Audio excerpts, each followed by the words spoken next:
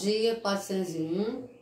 Hoje nossa aula de matemática do dia 5 de agosto, caderninho da mão, apóstolos, quarta-feira, e vamos revisar frações, ok? Na aula anterior, a tia deixou de atividade do livro e a leitura também de frações. Lembra que a tia ensinou o que era numerador e o que era denominador. Tem também no livro as frações decimais, que lembra de 10, 100, mil. Hoje vamos revisar, junto com a tia Cristininha, as leituras escritas de fração.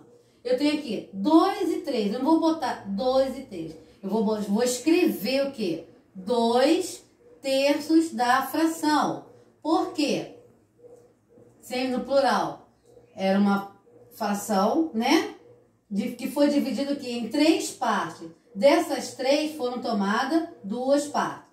6 com 7. Vou escrever 6 com 7? Não. Eu vou escrever 6 sétimos. E no plural, hein, pessoal? 5 sobre 6. Eu tenho 5 sextos. O número numerador é sempre normal. A fração que ela vai fracionada em terço, sétimo, sexto. 9 com 10. Eu tenho 9 décimos. Porque a fração foi dividida em 10 partes, uma figura dividida em partes iguais e foi tomada 9. Então, voltando aqui de novo. Leitura de fração. 2 sobre 3, temos 2 terços. 6 sobre 10, eu tenho 6 sétimos. 5 sobre 6, 5 sextos. 9 sobre 10, 9 décimos. Por quê? A fração foi dividida em 10 partes. Observe agora aquela figura ali ao lado. Temos o quê? Uma figura que ela foi dividida em quantas partes? Uma, duas, três, quatro, cinco, seis, sete, oito, nove, dez. Então, quando a, a fração é dividida em 10 partes, já estamos no décimo. Então, a parte dividida fica embaixo, que nós chamamos de denominador, ok?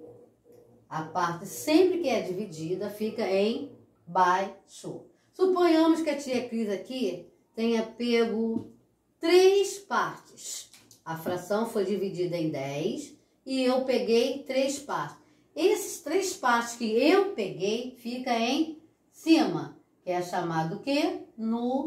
Numerador, e vocês escrevam aí. Como é que eu posso ler essa fração agora, tia, Cris? Chama essa fração de quê? Três décimos. Três décimos. Então aqui, a tia botou a diferença agora de fração, tá? escrita de fração ou leitura. Eu vou ler e escrever ao mesmo tempo. Aqui eu dividi a, a figura em 10 partes e peguei 3. Agora temos aqui 248, 6 décimos. Não são iguais, tá? Por quê? Aqui eu tenho um número natural, 248. E aqui eu tenho o quê? Uma fração. Então, quando a parte está dividida, foi tomada em numerador e denominador, eu tenho que então uma fração. Como é que eu posso escrever essa fração? Como é que eu leio esta fração? Seis décimos. Ok, pessoal? Revisando com vocês. Leitura de fração, divisão, escrita, numerador, denominador, o que é número natural, que é fração. E a nossa atividade de hoje foi revista aqui na página 95, que nós temos o quê?